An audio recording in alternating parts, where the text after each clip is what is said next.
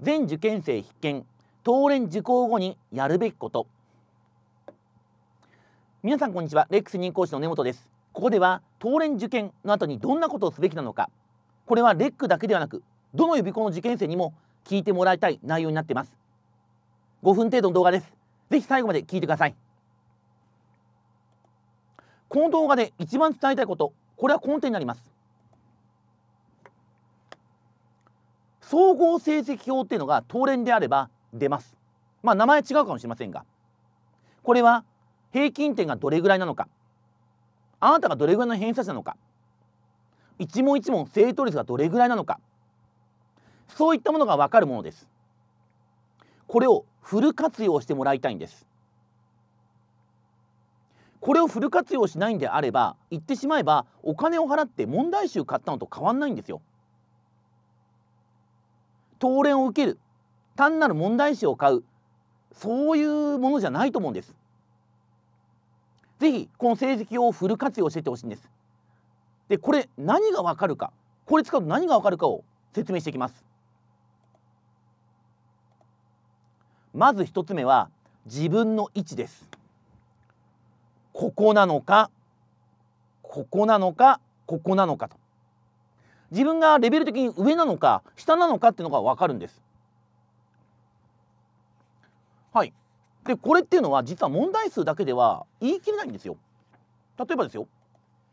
26問正解。35問中26問っていうともうトップという問数じゃないですよね、うん、もうまあもうあとちょっとぐらいいるなと。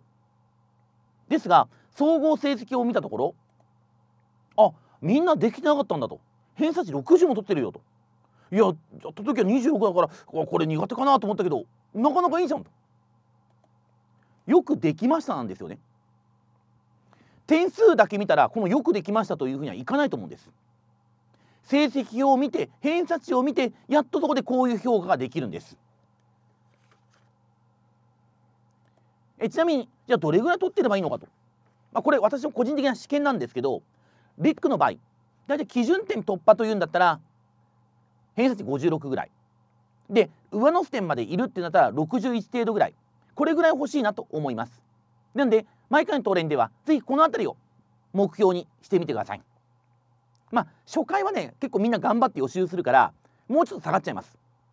だから3回目とか4回目あたりぐらいからは是非この偏差値を目指してください。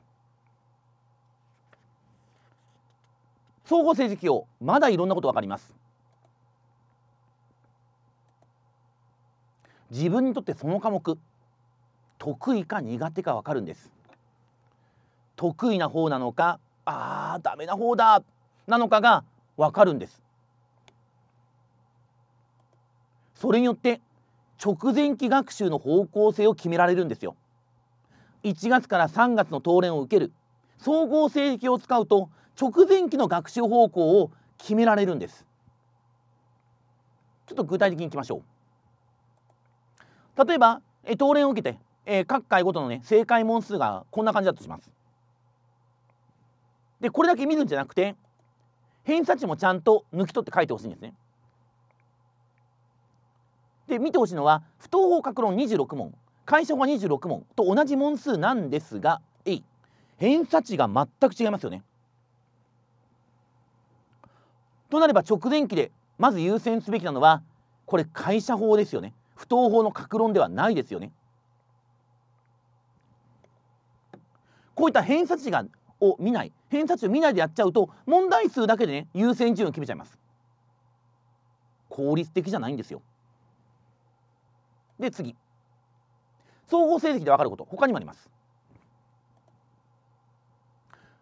ご自身基礎力が足りないのか応用力が足りないのかが分かるんです。これですがもともと勉強時間多く当てられない方その方こそぜひこれを使って判断してほしいんです。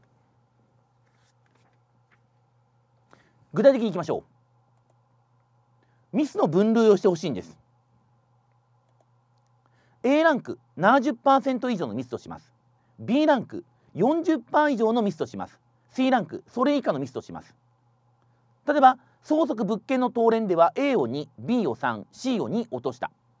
担保物件債券では A0B5C2 だったと、まあ、こんなふうに羅列させてもらいました。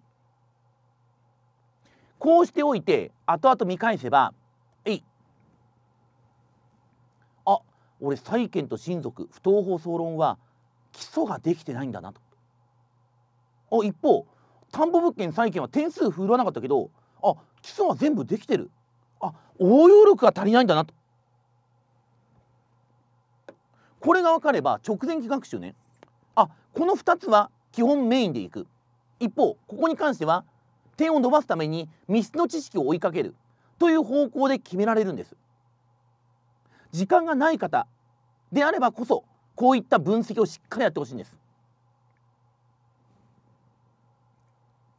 といったことで最後にまとめます。総合成績用をフル活用してもらいたい。じゃあこれやると何がわかるの？と3つ。自分の正確な位置。できる方なのかそうじゃないのか。点数だけでは分かりません。2自分にとってその科目が苦手かどうか。偏差値で見てください。自分が苦手かどうかは正解問数だけでは分かりません。3基礎力不足か応用力不足か。